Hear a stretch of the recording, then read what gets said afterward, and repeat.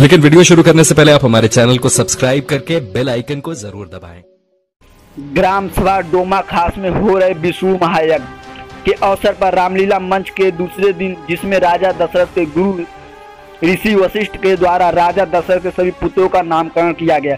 बात को देखकर गाँव के लोग भाव और उठे। रामलीला मंच का उद्घाटन रामहर्ष इंटरमीडिएट कॉलेज के प्रबंधक रामहर्ष शर्मा वशिष्ठ मिश्रा एडवोकेट ने किया। इस अवसर पर ग्राम सभा प्रधान रामराज सहित कई गणमान्य लोग मौजूद है। जनपद महाराज के डोमा खास से राकेश गौंड की रिपोर्ट।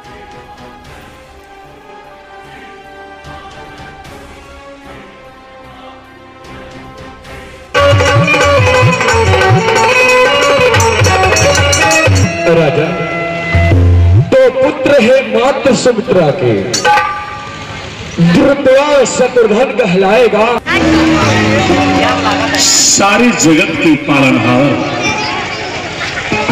यानी भगवान विष्णु। विश्व भरण पोषण कर जोई उनका नाम मेरे पुत्र भरत बहादुरदेव। इस नाम में तो भक्ति के संपूर्ण भाव छुपे हुए हैं। यह नाम भी परम पवित्र